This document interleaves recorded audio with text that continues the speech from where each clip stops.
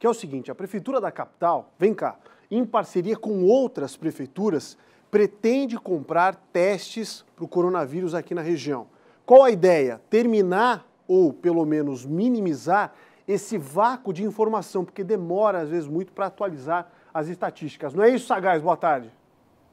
Isso mesmo, Polito. Além da capital, boa tarde para você, boa tarde a todos. São José, Biguaçu e Palhoça vão fazer a aquisição desses testes rápidos. A ideia é trazer um diagnóstico em larga escala de pacientes que possam estar infectados com o novo coronavírus aqui na nossa região. Essa decisão de comprar esses testes saiu já na semana passada.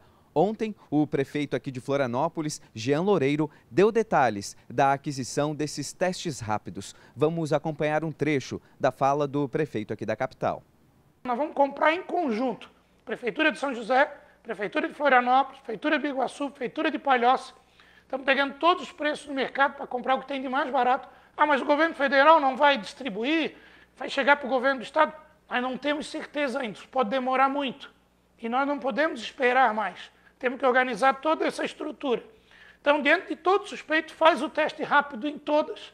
Aquele que não tem, já está liberado para estar vida ativa. Aquele que está suspeito, que foi identificado como contaminado, ele fica no seu isolamento 14 dias. Vencido isso, ele pode voltar ativo e está imune.